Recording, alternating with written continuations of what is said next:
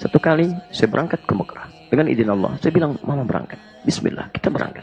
Anda tahu, ketika kami sa'i, saya bayangkan bagaimana seorang Ismail mendapatkan kenikmatan dari ibundanya yang berjuang keras. Naik turun, naik turun. Saya bayangkan ibu saya bagaimana merawat saya. Air matanya, tangisan, dan darahnya segalanya.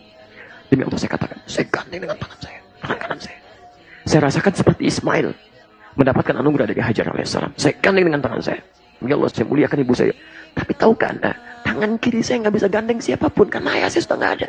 Saya nggak bisa melakukan apa pun. Saya cuma berkata setiap kalimat yang saya sampaikan, ya Allah mohon ada pahala untuk ayah saya. Ketika saya baca Quran, ya Allah mohon setiap huruf yang ada untuk ayah saya. Anda bapak masih ada, ibu masih ada, masa belum bisa bahagiakan juga?